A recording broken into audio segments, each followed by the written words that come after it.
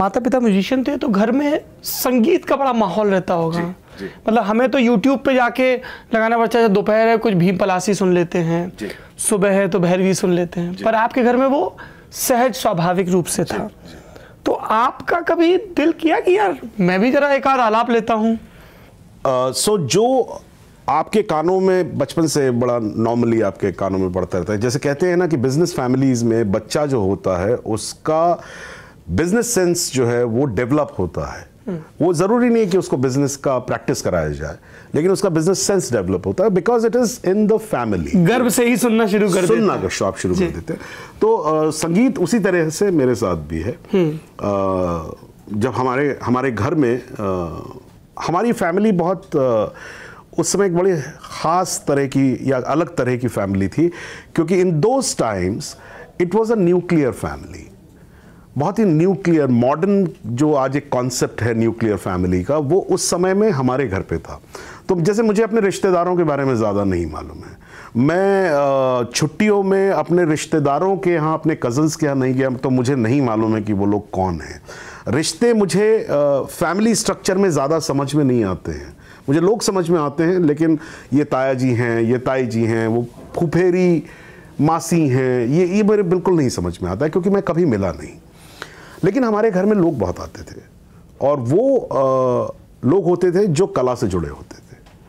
तो हमारे घर में एक बड़ा ही सेकुलरिज्म जो है वो भी बहुत नेचुरली आया क्योंकि संगीत में अ, अगर आप अच्छा गाते हैं तो हम आपकी इज़्ज़त करते हैं हम आपको खाने पे बुलाते हैं। अब आप खां साहब हैं या आप यादव हैं या आप कुछ भी हैं आप अच्छा गाते हैं अच्छा संगीत करते हैं तो आप हमारे दोस्त हैं। तो एक तो सेकुलरिज्म हमारे घर में बहुत वैसा आया।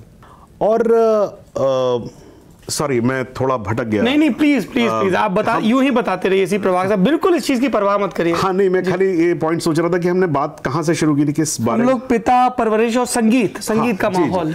हाँ तो अ, मुझे अक्सर जब आते थे म्यूजिशियंस आते थे तो वो ऐसे ही पूछते थे बच्चे ज़रा सरगम गा के सुनाओ। तो मैं सरगम गा देता था सारे गामा गा देता था। और मैं ऐसे ही बस गा के ऐसे खड़ा हो जाता था। और वो कहते थे कि ये बहुत अच्छा गाता है ये ये इसको बनाओ इसको गायक बनाओ। लेकिन मेरा कोई इंटरेस्ट नहीं था क्योंकि मैं सुबह से देखता रहता था। फादर म्यूज़िक चलता रहता था पूरे घर में म्यूज़िक ही था हमारे घर में। तो मेरी चाह कुछ और थी। इसलिए मेरा पहला रुझान जो था वो चित्रकला की तरफ़ था। स्केचिंग स्केचिंग की तरफ़ था। अ, और फिर बाद में वो बदलता गया। फिर वो स्पोर्ट्स पे गया वो फ़िल्मों पे आया। ऐसे पूरी जर्नी रही। तो बच्चे जरा सरगम गा के सुना सारे गा मा पा धा नी सा सा नी धा पा मा गा रे सा। ये तो छूट नहीं अभी रियाज। हाँ पर इस पे कुछ फिर बंदिश भी कुछ तो मम्मा ने पिताजी ने तो मैं आप अब आपका कहना यह है कि मैं कोई गाना गा के आपको सुनाऊं। जी प्लीज़ तो मैं गाना है। हाँ तो मैं पहले बोल देता हूँ कि मैं ये ये इसका कोई अभ्यास नहीं करता हूँ मैं तो मुझे अभ्यास नहीं है सुरों का। तो थोड़ा अगर इधर उधर हो जाए तो मान लीजिएगा कि चलिए ठीक है झूठ नहीं बोल रहा है। तो मैं एक गाना आपको सुनाता हूँ। ये गाना जो है वो मैंने एक प्ले के लिए किया था। तो लिखा भी मैंने ही था उसको कंपोज भी मैंने ही किया। और गा के आपको मैं सुना देता हूँ। और ये गाना मैं पहले बता दूँ ये ओरिजिनल गाना नहीं है। ये गाना एक तरीके से एडाप्टेशन है एक बहुत मशहूर गाने का। वो अंग्रेज़ी का गाना है और उसका बड़ा मशहूर गाना है, वो उसका नाम है के सरा सरा whatever will be will be तो उसका ये हिंदी रूपांतरण है और बिल्कुल धुन एकदम अलग है और शब्द एकदम अलग है।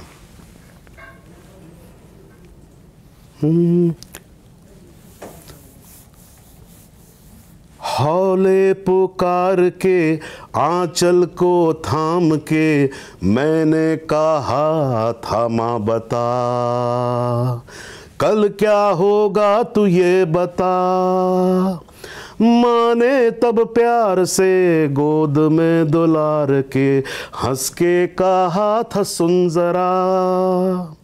कल की उस जेब में किसका है क्या छिपा, ये है नहीं जानना।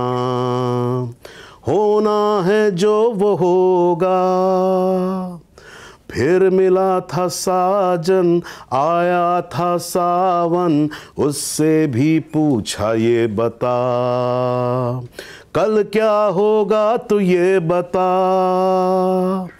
होठों को चूम के बोला वो झूम के, सुनो मेरी जान जाना, कल की उस जेब में किसका है क्या छिपा, ये है नहीं जानना। होना है जो वो होगा चलती इस रेल में दुनिया के खेल में। प्यारे फिर क्यों रोना? खुशी मिले या गम हंसना तू हर दम। आँसू बचा के रखना। जीना तो है ही ना। क्या बात है बहुत शुक्रिया। थैंक यू सुनने के लिए। नहीं नहीं तो